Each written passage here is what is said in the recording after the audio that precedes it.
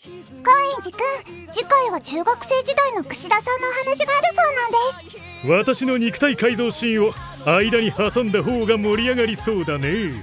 そそれはわからないですけど高円寺くんがどんな中学生だったかちょっと想像つかないです。私は私さ生まれた瞬間から最高にクールな人生を送っているよ。へへえもう少し具体的に聞いてもいいですか国内かな国外かな？ええじゃじゃあ国外はアマゾンの密林でサバイバルをしたりアメリカで射撃練習をしたり中国では武術をスタイリッシュに経験したりしたね。へへえ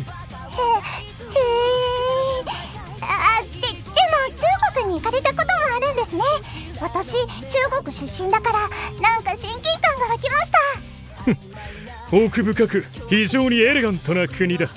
またいずれ挑戦したいものだね挑戦。えなんか会話がうまく噛み合ってませんね。